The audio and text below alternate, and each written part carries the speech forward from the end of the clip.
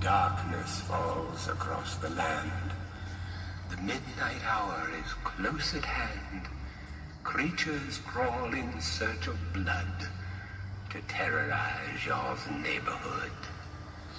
But whosoever shall be found without the soul for getting down must stand and face the hounds of hell and rot inside a corpse's shell.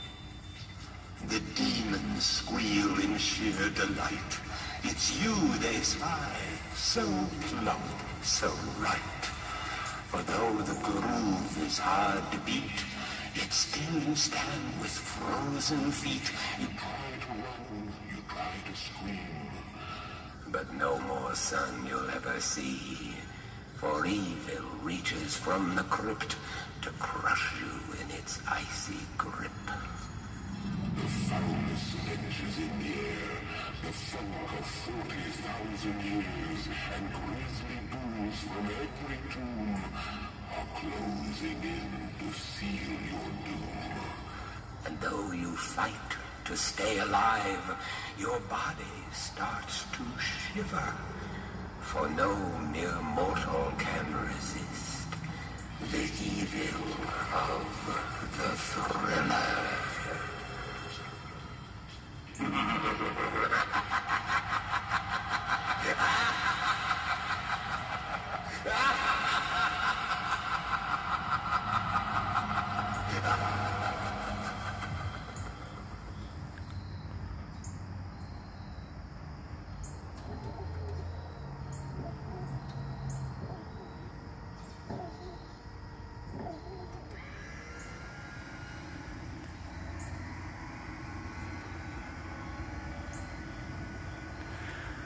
Well, that's some work that I've done on my columns this year. Um, what I done was I gutted out the whole electronics out of it that I had in there for years and I've replaced them with this here.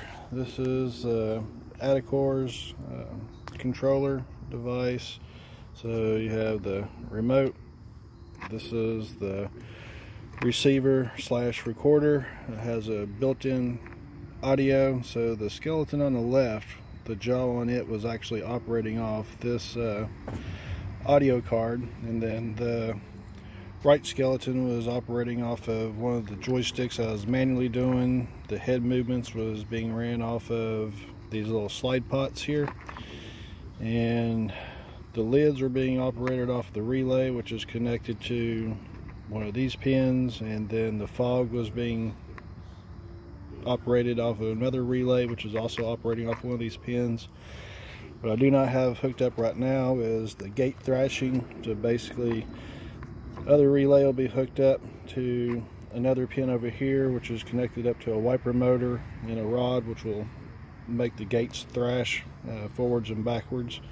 Um, I still have a spare relay if I wanted to use it on something and uh, but yeah these are nice little pieces of equipment from Adacor.